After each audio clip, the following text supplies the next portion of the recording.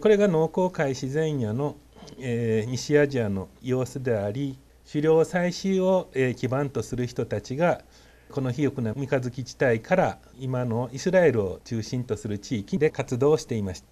た。この地区で大変重要なことは定住的な狩猟採集民がいたということであり、まあ、移動性の狩猟採集民以外にこう安定したあまり動かない狩猟採集民がいたということが大事であります。